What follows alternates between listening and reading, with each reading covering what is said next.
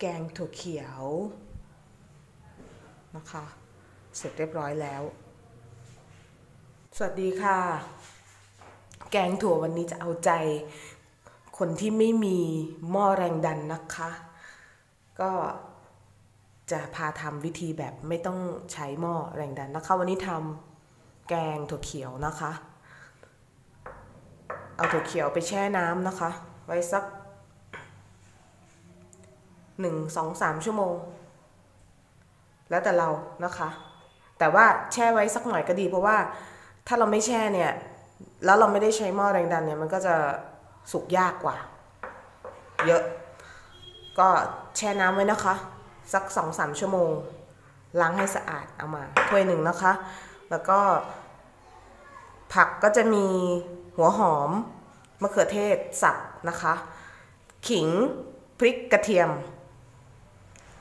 ผักชี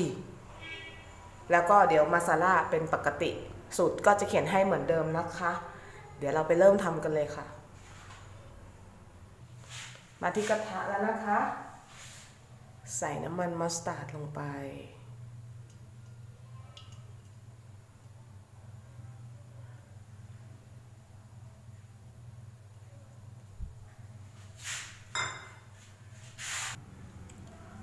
พอน้ำมันร้อนแล้วนะคะ ใส่เม็ดยี่หร่าลงไป นิดหน่อย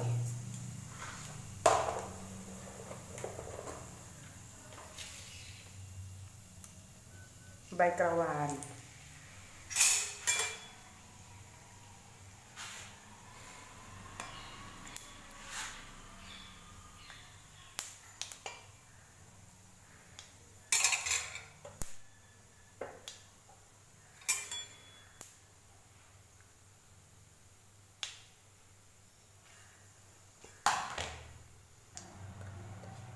พอเม็ดยี่หร่าเป็นสีน้ำตาลนะคะ ใส่พริกเขียว กระเทียมขิงใส่ไปเลยค่ะ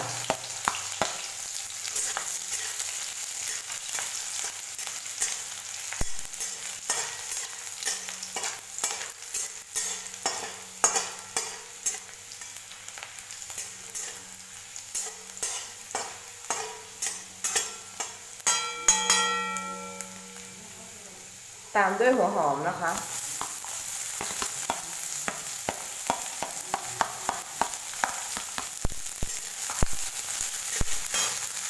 และแล้วไม่หญิงลืมใส่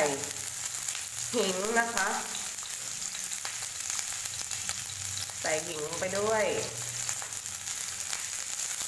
ใส่ไปตรงน้ำมันนะคะ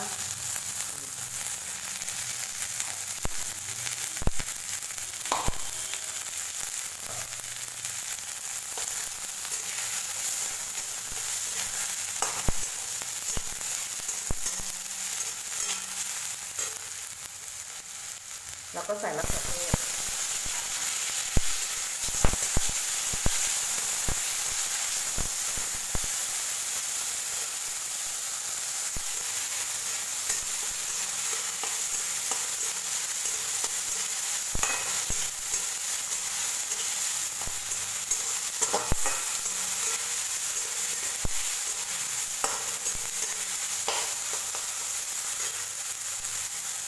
เอาแบบว่า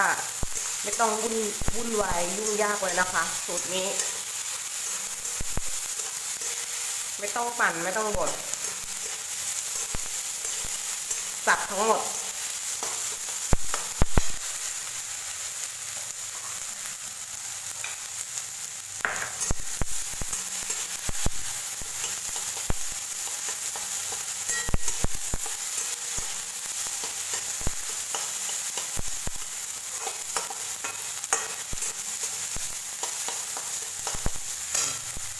อ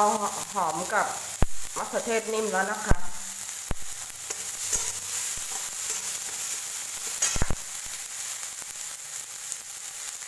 เราจะใส่เครื่องเทศค่ะ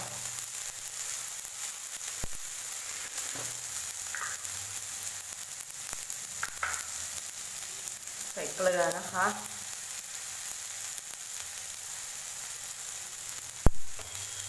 ขมิ้น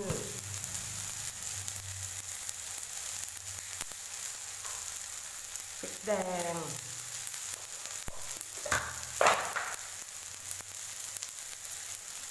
ลูกผักชีป่น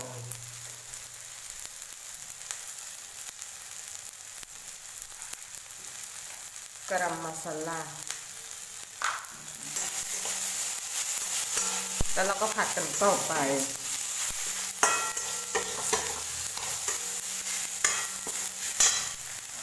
ถ้ามันจะไม่ใส่น้ำได้นิดนึงนะคะ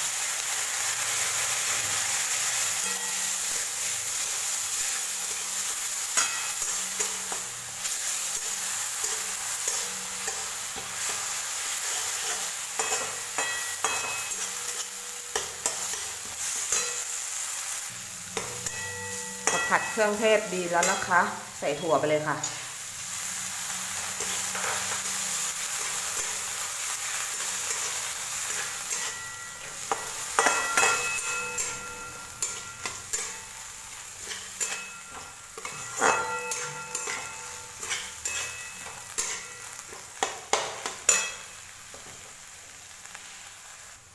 พอถึงขั้นตอนนี้นะคะ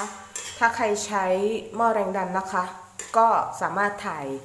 ใส่หม้อแรงดันได้เลย แล้วก็เติมน้ำเข้าไป ไม่ต้องเยอะนะคะ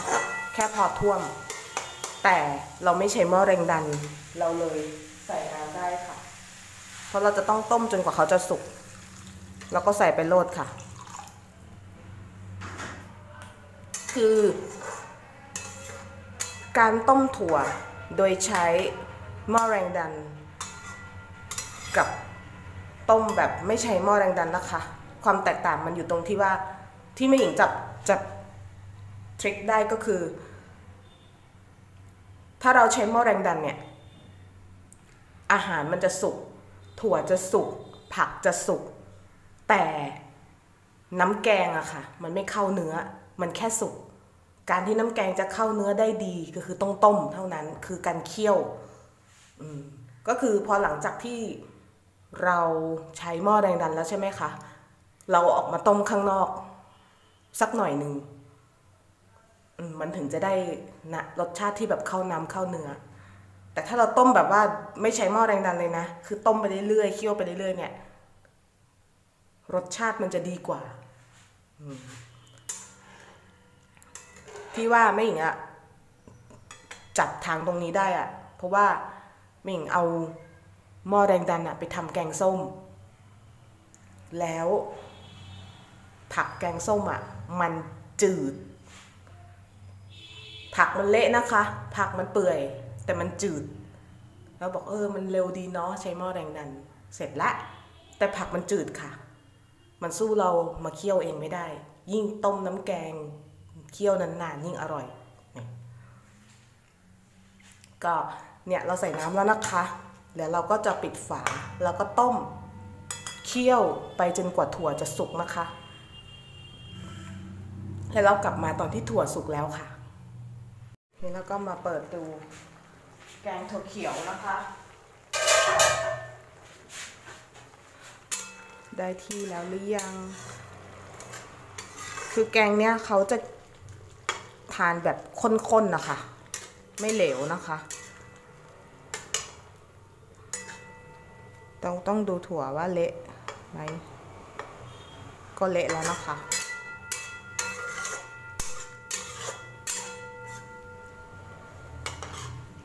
เนี่ยค่ะ เสร็จแล้ว เดี๋ยวเราไปใส่ชามกันนะคะ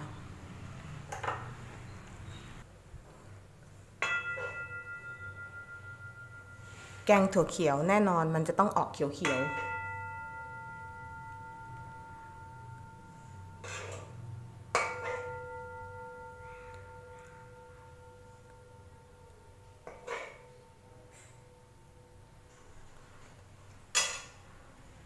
แล้วก็โรยด้วย ผักชี